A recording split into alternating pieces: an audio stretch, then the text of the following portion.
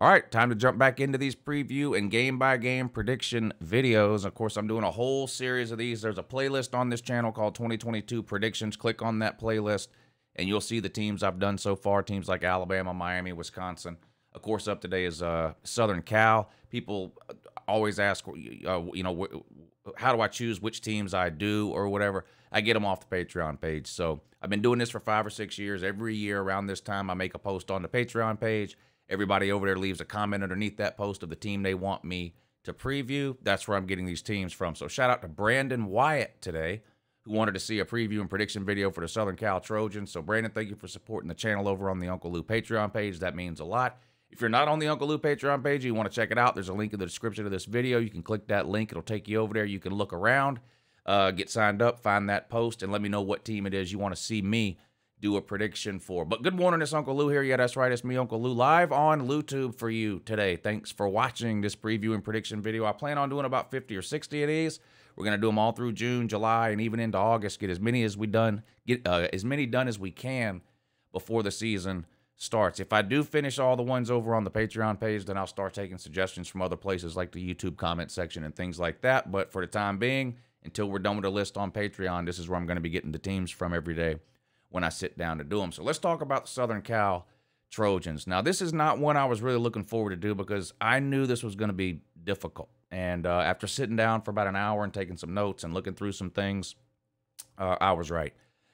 I bounced around on three or four games for Southern Cal between wins and losses. Um, I, I, bounced around eh, three or four different overall records for Southern Cal before I finally landed on one there's a lot of questions for Southern Cal, not that aren't necessarily talent related, particularly on offense, which we're going to talk a lot about the offense and the defense. If you've seen any of these videos before, you know the, first half of the video I kind of preview the team, the offense, the defense, the coaching staff, what's gone from last year, what's back from last year, transfer portal acquisitions, things like that. Second half of the video, I'll actually put the schedule up on the screen, go through it game by game, and give you um, a winner and a loser. But so much of we've never seen a roster get overhauled like this in one offseason. The transfer portal's been around for a couple of years, and we've seen even really, really good teams use Alabama as, as an example this offseason. Alabama's loaded, number one recruiting class almost every single year. They went out and got a running back in the portal who's going to start for them. They went out and got a wide receiver in the portal that's going to start for them. They went out and got a defensive back in the portal that's going to start for them. People are using the portal. That's not a surprise. But 20 players Southern Cal went and got from the portal to try to help to overhaul this roster that was left over from Clay Helton, who, of course, was fired after last year, replaced by Lincoln Riley. We'll talk about him in a second. I was never that big of a fan of Clay Helton to start with, and I thought Southern Cal probably should have fired him a couple of years ago when Urban Meyer was available before he took the Jaguars job. Should have thrown everything they had at Urban Meyer. They didn't do it, uh, but they threw everything they had and then some uh, at Lincoln Riley. And so Lincoln Riley comes in to take over as head coach. Now he's inheriting a Southern Cal team that went four and eight last year. How bad is that for Southern Cal? That's the worst season they've had in 50 years. 50 years. But the problem is deeper than that. It's not just one bad season at Southern Cal. Southern Cal hasn't won more than eight games in a season since 2017. That's a long time ago. That was the last time they won um, more than eight games. Southern Cal, that should be unacceptable. And it is, and that's why Clay Helton uh, finds himself out of a job. But let's talk about Lincoln Riley, okay? What are you getting with Lincoln Riley? Well, you're getting, in my opinion, one of the best offensive minds in college football. You're getting a guy who uh, high school players, offensive players, particularly quarterbacks, are going to want to come and play for. You're getting a guy who's been to the playoffs three times, and I and I know he's yet to win a playoff. Every time he gets there, he gets beat. Okay, who else has been to the playoffs three times? Let's see. Uh, Nick Saban, Dabo Swinney. I believe that's it. Kirby's been twice. So he's been to the playoffs three times. He's produced two Heisman winners and multiple NFL quarterbacks. So you know what you're getting offensively with Lincoln Riley. My question is don't you also know what you're getting defensively, which is nothing? You can't overemphasize how bad Oklahoma's defense has been under Lincoln Riley. You can't put it into words. Uh, I think it was 2017 when they played Georgia in the playoffs. Their defense was ranked 130th. There's only 130 teams. Now, there were years where the defense was a little bit better, but it was nowhere near the level that it needed to be. And it showed every year in the postseason. And that's why they have three playoff appearances, but no playoff wins. He did change defensive coordinators at one point and brought in Alex Grinch. The defense improved a little, but not like a lot of people thought it would. And that's who he's brought with him to run the defense at Southern Cal, that same Alex Grinch. Now, Alex Grinch did great at Washington State. There was a three or four year period, 2015 to 2017, I think, where he completely turned that defense around. And by the time he left in 2018 to take a job at Ohio State, Washington State was in the top 10 of almost every defensive category on planet Earth. Was at Ohio State for a short period of time and then came to Oklahoma. And we never really got to see if it was going to work out there because he was only there a couple of years. One of those years was the coronavirus year. And now he's gone off to um, Southern Cal. I do think Lincoln Riley has to reevaluate his approach to defensive football. You know, I, I know he takes a hands off approach and lets the defensive coordinator run it, but as a head coach, I think he's got to put more emphasis on the defensive side of the ball. If you look at Oklahoma's recruiting classes under Lincoln Riley, they were pretty good recruiting classes. But if you go and look at any given year, at the top 10 players they signed in any given year, eight or nine of them are offensive players all the time. Um, offensive linemen, no problem to get quarterbacks, wide receivers. They were even getting really good running backs. The problem was on defense, particularly defensive line. They were undersized. They poor fundamentals. They just they didn't have the talent or really the technique on defense that they needed to compete at the high level of college football once they got into the postseason. That's my question about Lincoln Riley in general and Southern Cal in particular. There's no doubt in my mind that in you know, let's say Lincoln Riley stays at Southern Cal for the next 10 years there's no doubt in my mind Southern Cal is going to be the, des- the best program in the in the uh, Pac. I think I said Big 12, Pac 12. Let's say he stays at Southern Cal for the next 10 years. There's not a doubt in my mind that Southern Cal will be the best team in the Pac 12 over that 10 year period, the majority of the time. Maybe not every single year, but the majority of the time. It's going to be the best program over a 10 year period if he stays there. I don't have any questions about that. My questions are with Lincoln Riley all have to do with what happens in late December and January, playoff time. Those questions can't be answered until we see him get there and do something different than what he's already done. Um, let's talk about the transfer portal and the overhaul that went on um, on Southern Cal's roster from last year to this year. 20 players, like I mentioned, that's 25% of the team uh, has been brought in this year through the transfer portal. And I'm not talking about guys who need to be, to be developed, guys who are going to be stuck on the bench, third string. Every single position group on both sides of the ball has players that are going to be starting this year at Southern Cal. And it's some big name guys, some big name guys. Some of them, you know, of course, the quarterback uh, Caleb Williams. But we're going to go through the list here. 24 7 ranks transfer classes now every year, and Southern Cal is way uh, beyond anyone else um, when it comes to the transfer rankings. Uh, uh, when it comes to the transfer rankings for this offseason. Uh, all right, let's take a look at the offense. Okay, so quarterback Caleb Williams, right? Didn't get the start last year. Spencer Rattler did at Oklahoma. He struggled early in the season. Rattler was benched. Caleb Williams came in, ended up becoming a first team All American and clearly one of the best quarterbacks in the country, and that was as a, as a true freshman. I don't expect there to be.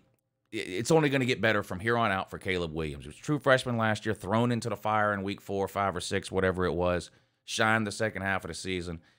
Had some freshman mistakes, no doubt about it. But like I said, ended up being first team all freshman uh, or freshman All American last year. And heading into this season, widely considered one of the best three quarterbacks in all of college football and a Heisman contender if not a Heisman favorite. Absolutely no question marks at all about quarterback Caleb Williams. Well, what about the wide receiver position? There's only two wide receivers on this roster that were on the roster last year for Southern Cal, and I'd be surprised if if either of those two actually start. Again with the transfer portal. Uh, Jordan Addison, the, the Biletnikoff winner from last year, the best wide receiver in all of college football last year at Pitt, played with Kenny Pickett, right? Transfers from Pitt to Oklahoma. Mario Williams, Oklahoma's number two wide receiver next uh, last year, transfers from Oklahoma to Southern Cal. Uh, Brendan Rice, Jerry Rice's son. I didn't even know this guy was in football. Transfers to, to, to Southern Cal from Colorado. And Terrell Bynum from Washington, who's got 19 starts in the Pac 12. Those are going to be wide receivers one through four they're all legitimate wide receivers, and Jordan Atkinson was the best wide receiver in all of college football last year. So no questions at quarterback, no questions at wide receiver. Well, what about running back? Lincoln Riley's offense, he's a genius offensively, one of the best minds in offense. And people think about the Lincoln Riley offense, they think of air raid. And that's true. They've had great quarterbacks, Heisman winners that have put up a ton of numbers, uh, 5,000 yard seasons, 40 and 50 touchdown yard uh, seasons. Oklahoma's been at its best, though, offensively when they've had really, really good running backs. Um, that's just a fact. That gets overlooked when it comes to Lincoln Riley's offense, in my opinion. So, who do they have at the running back position? Well, nothing left from last year, really. But don't worry, they went out and got Travis Dye from Oregon. How good is he? He's fifth all time on Oregon's rushing list. They bring him in. They go and get Austin Jones from Stanford through the, transfer portal. Averaged 4.2 yards per carry last year and loves contact. Uh, both can catch the ball out of the backfield, too. These are two perfect running backs for a Lincoln Riley offense. What about the offensive line? They've got a couple of other running backs too. I mean, they've got. Uh, did I, I don't even remember if I wrote these uh, uh, these down or not. Maybe I did. Yeah, Junior uh, Darwin Barlow and a four-star uh, Raleek Brown. I mean, they'll play three or four running backs like most teams do. But Travis Dye is an absolute beast uh, at the running back position, and this guy from Stanford, 4.2 yards per carry. No questions about the running back. Offensive line again with the transfer portal. You bring in Bobby Haskins from Virginia, he's going to be your starting offensive tackle, period. Uh, you return uh, Andrew Voorhees at guard, not related to Jason Voorhees that I'm aware of, and a four year starting center you return. So you're going to have a great offensive line, you're going to have uh, great wide receivers, great running backs, and a great quarterback. Does this sound familiar? Yes, it sounds like every Oklahoma team I've ever seen under Lincoln Riley. I don't have any questions about this offense. None. What about defense? Well, Alex Grinch, defensive coordinator, I talked about that already. Did great at Washington State. Wasn't at Ohio State long enough to really prove anything. Then on to Oklahoma for a COVID year. And then last year, again, not long enough to really prove anything, in my opinion. He, uh, now Lincoln Riley brings him along to uh, Los Angeles and Southern Cal. So Alex Grinch is going to be running the defense. A terrible defense, at least last year. Gave up 31.8 points per game. That's absolutely horrendous. What's the defense going to look like this year? Well, you're going to have more returning starters from last year or more leftover pieces defensively from last year eh, uh, than you are offense. But on the defensive line, and again with these kids' names, Tuli Tuipulotu. Uh, uh, yep, first team All Pac 12. These are defensive line guys. Led the team in sacks last year, too. Uh, Nick Figueroa, uh, Figueroa. I'm pretty. I might be getting that one right actually. Nick Figueroa, Brandon Pili. Those are uh, two transfers. Uh, or those guys come back. Uh, no, those guys come back. Uh, they started last year. They're back. Defensive line will be okay.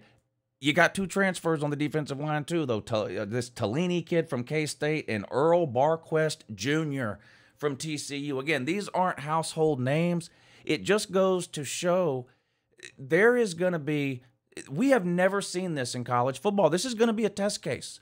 Um, you know, a, a, coaches for a long time have been hired at bad teams. And look, that's what Southern Cal was. And you can argue they're a bad program. They haven't won more than eight games since 2017. For 100 years in college football, we've seen coaches get hired in these situations, and we say the same thing every time. Well, look at what they're inheriting. It's terrible. It's going to take three or four years to turn the roster over. The first year is a throwaway year. He's got to get three recruiting classes in there. That's out the window. That's out the window with this Southern Cal team. If Southern Cal were to go six and six or seven and five, it, that would be an epic failure.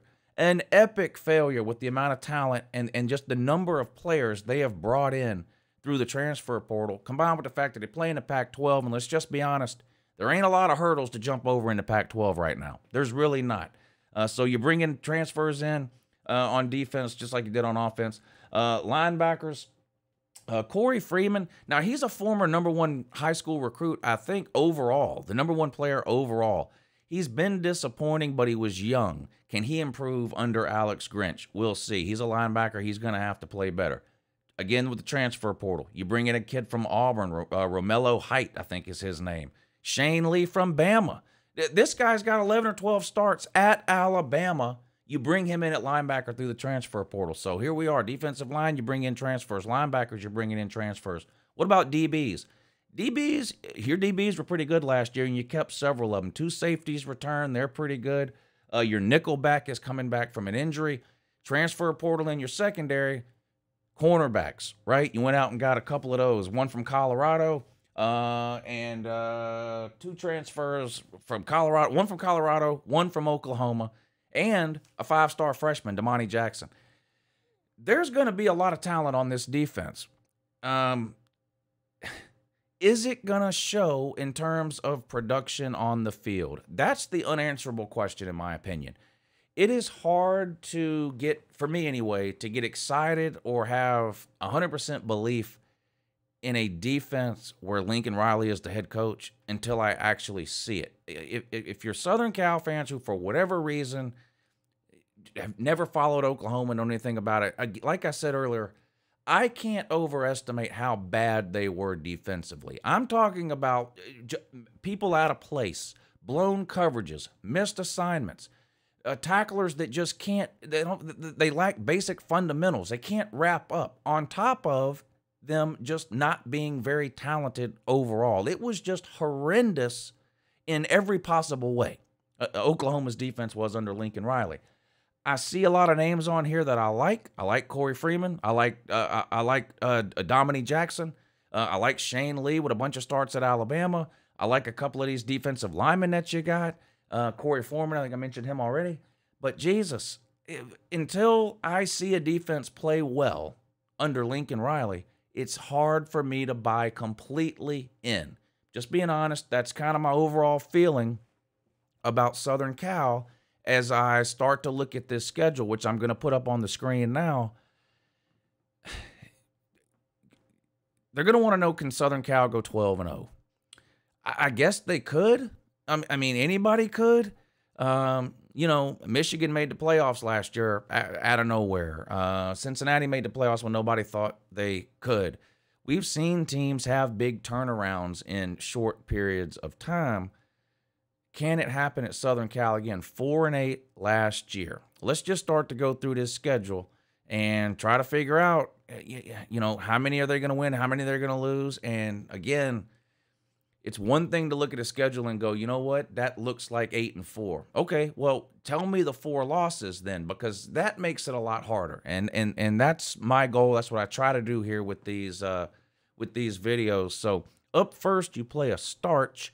That should be a win. Uh, we'll just go ahead and pencil that in. You you should beat Rice. If for some reason Oklahoma, if if Oklahoma doesn't score 50 points in this game, uh, then maybe you got some cause for concern. But Oklahoma should absolutely dominate in that one. Hard to believe uh, Rice will give Southern Cal. I keep saying Oklahoma over and over again. I apologize for that. I'm, I'm uh, clearly I'm talking about Southern Cal.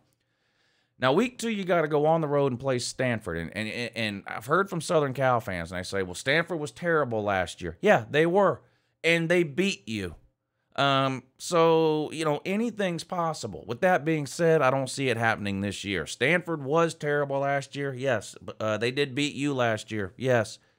They haven't overhauled their roster and coaching staff like Southern Cal has, though. And even though this is on the road, not a huge uh, home field advantage for Stanford, I don't think, anyway, in terms of home field advantages across college football. I don't think it's a place that many people are intimidated uh, or afraid to go play.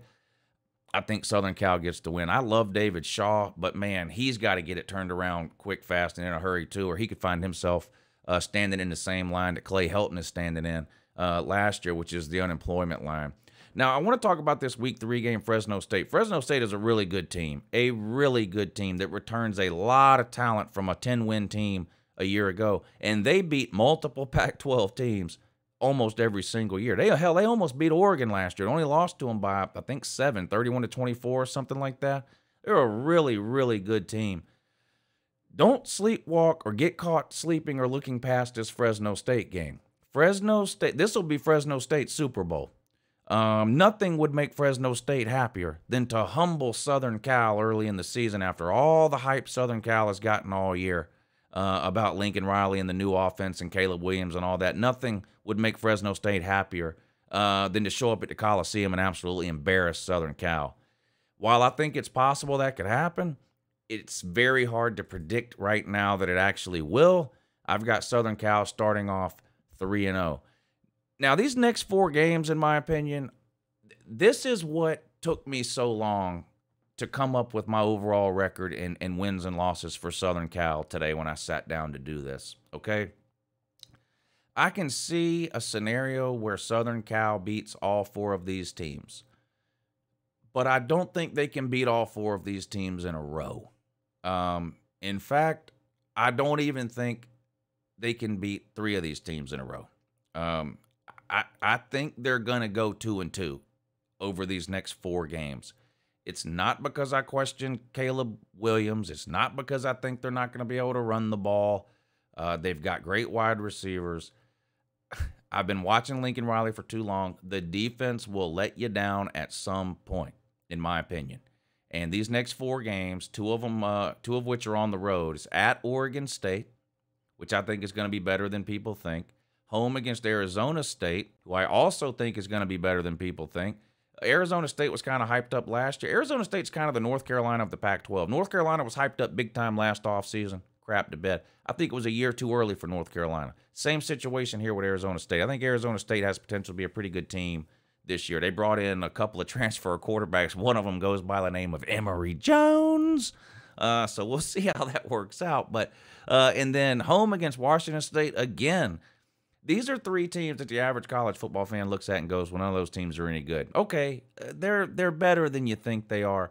And then the fourth one, of course, at Utah, who you know won the Pac-12 uh, uh, last year and has been the most consistently good team in the Pac-12 over the last four to five years. Them and, and maybe you put Oregon in that category too.